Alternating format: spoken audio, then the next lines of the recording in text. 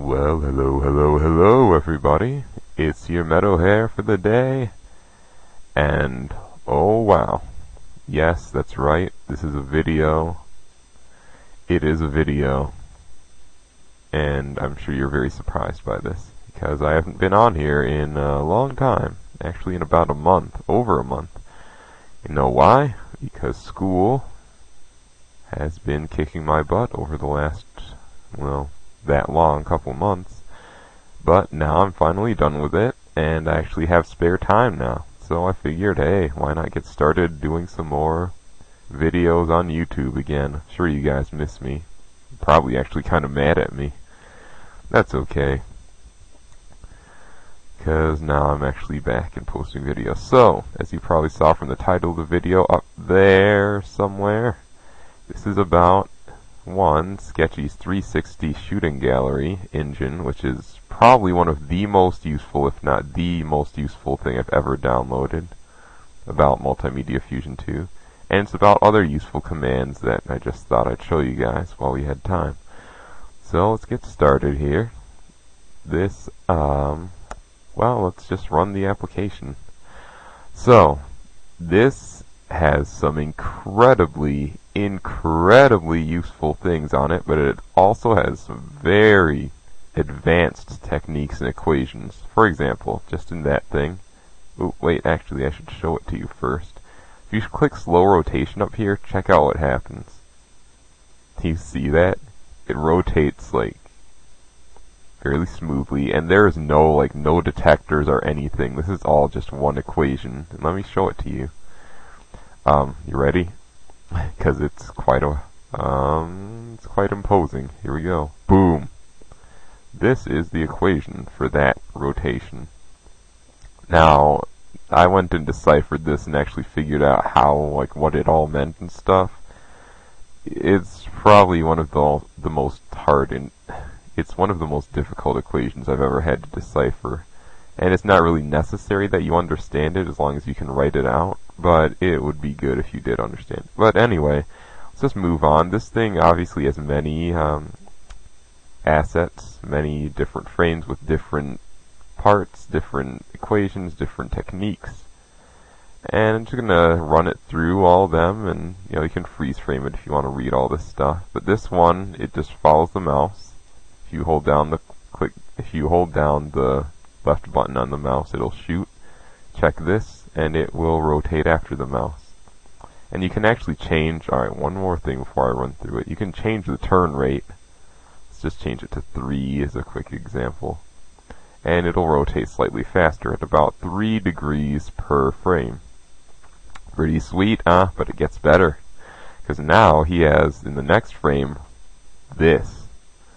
Ricocheting bullets off of walls. And needless to say, many of you probably want to know how to do this stuff, and this just basically shows you how.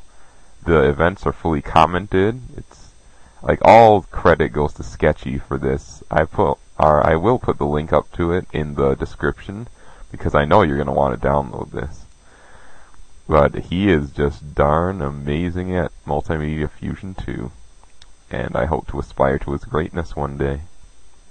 This one just has a little target that follows the mouse up to a certain point, and the bullets are slightly less accurate. They'll kind of spread around and stuff. Next frame. Now this one will be very useful for some of you guys because it has a specific weapon which you can choose by pressing 1, 2, or 3. Uzi, pistol, and shotgun. And the pistol has a reload time. You can hold the mouse and click it and it'll shoot until it runs out of bullets and it'll have a reloading time.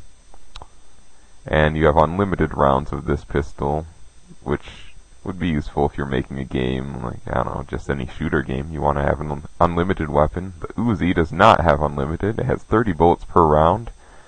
When it's done, it has to reload, just like the other one. And you start losing rounds as you, you know, use the bullets. And when you're out, you're out. And no more reloading. And there you go. Shotgun, you only get two bullets. It has to reload very often. Moving on. This one, oh wow. I'm sure you guys want to know how to do this, right? This is using many fast loops and is very hard on the processor of a computer, but it looks awesome. You hold down the mouse when you're pointing toward a wall, it'll make a bullet instantly appear against the wall, like an instant laser. And if you hit the right click, you do this.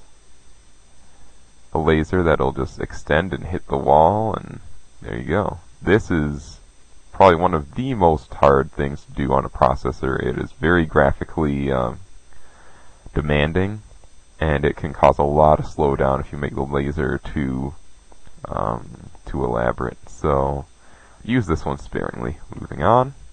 This is something quite amazing. You want to make a game like Worms, where you have like the different power, the different weapons, and destructible terrain. Look no further. Here you go. This was quite impressive to me when I saw it. And and you can see why. You can just destroy everything. The bullets will rotate perfectly. Can shoot them way off the screen if you want to. So this is pretty fun just to mess around with. Now this, okay.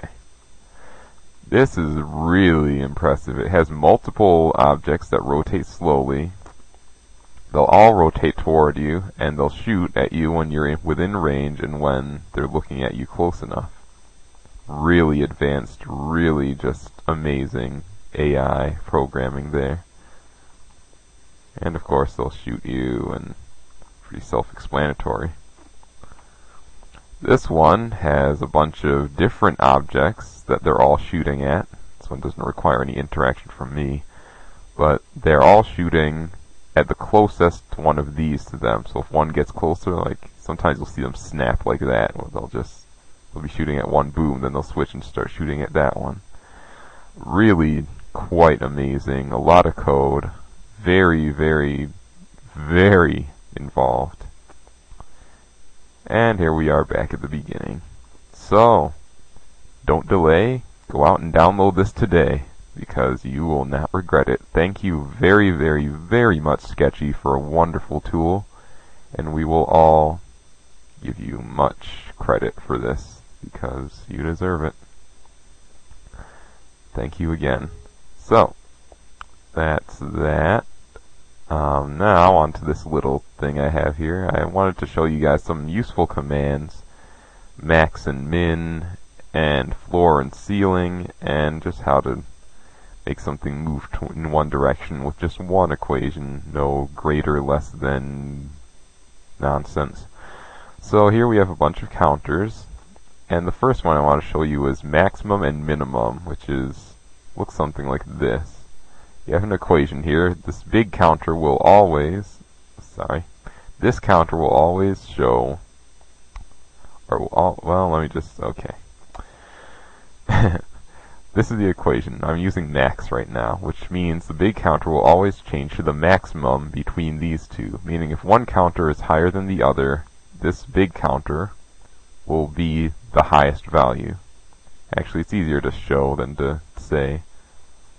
Alright, so this thing's just going to follow the mouse, but if I press left, that counter will increase. If I press right, the left counter will increase. I don't know why I did it that way, but I did. But as soon as that counter becomes higher than the other one, the big counter will turn to that counter on the left. The one on the right surpasses the one on the left, turns to that one. So this can be really useful if you want to do something like that in your game, so you have like a health bar or something. Well, another practical application is if, say you want an enemy to take damage from something, or, well, it's hard to explain, but when you want something to not be set, like for example in my game there's a screen shaking equation where the magnitude determines how much the screen should shake. If it's 6, the screen shakes 6 pixels around. If it's 2, it shakes 2 pixels. Well, sometimes you have the screen shaking like 10 pixels, and then an enemy dies that makes an explosion, and it is set to make the screen shake only 2 pixels because the enemy's small. Well, that can be really awkward if it's shaking a lot, and then all of a sudden an enemy dies and it just stops shaking because it's set at such at such a low value. Well, with this, you can say when the enemy dies, set it to the maximum between 2, which is the enemy's set uh, magnitude value, or what the value is already. And it'll choose and say, okay, well this is 2, let's see if this value that it already is is higher, and if it is, it'll set it to the max, which means it won't set it back to 2, it'll set it to what it already is. Hope I explained that well, but it's really useful for things like that. And of course, as you'd probably guess, minimum is the opposite. When you do this, it'll always set it to the lowest value. So no matter how high this value goes, it will always be 0 because the other one is 0. The minute that one starts going up, it'll be that one until it surpasses the other one, and then it'll just stay at the lowest one. So I'm sure you can think of your own practical applications to that. Alright, now, floor and ceiling. This is uh, quite interesting.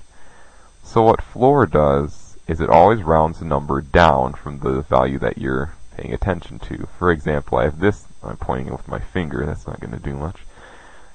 This thing always increases by a decimal of 0.1. And as you can see, those values up there are just kind of, they're being rounded up to a whole number. But the ceiling one, which is this one, will always go rounded up. So if it's 10.3, it'll round it up to 11 it'll stay 11 all the way up until it goes to 11.1 or something above that, then round up to 12. This one will always round down. This is the floor value. And so if it's 11.9 even, or even 12, it'll round it down to the previous number. See, this one's 14, that one's 13. So that can be useful because you can also, whoops, did not, did not mean to do that. Can say, just do this. Whoops. Typing with one hand because I'm holding a microphone. Uh, let's just say times 6. And this one, we'll just leave that on its own. Now, that one will round up and multiply it by 6. So that you have this smooth progression no matter what the decimal point is. The other one is just, you know, doing its own thing. And of course, the last thing I want to show you is this little circle thing which you've seen following the mouse this whole time is just this one equation. It's kind of the same thing we use in our gravity and other equations. This is the x of the follower minus the x of mouse divided by the same thing, x of the follower divided by mouse, and that will either yield um, positive 1 or negative 1. And if so, you don't need any values, no nothing, just that equation, it'll just follow. And of course you can do this with the y value as well. You just do that real quick. And it'll just follow. It's not the best because it doesn't use any loops and it can go past certain things when you don't want it to. But in a pinch, if you're just looking for something really simple, then shoot, why not do this? Alright, so changing all that. Should, yep, there it goes. Two equations. You just have this thing that follows pretty much perfectly. Kind of jerky, but, you know, it can do in a pinch, like I said. So, that's it, really, for today. Just wanted to share something with you guys. Just wanted to make a video, really, because I haven't in so long. So, that's really been it. Um, hope you guys have been doing alright over the time that I've been gone. And, um, I will hopefully be getting to that enemy AI thing soon. which you guys have been waiting for for far too long. But I, you know, I finally figured it out. And I think I'm ready to post the videos. So, look for that coming up soon. And I will see you all later. This has been that guy over there, 123, or Meadow Hare, depending on what you want to call me. I prefer Meadow Hare, but call me whatever you want. And I will follow you guys to the point of making videos right there. See, I just followed. Anyway, enough babbling on. I'll see you guys later in the next video. Hope you have a great day. And, yeah. Nice to be back. See you all later.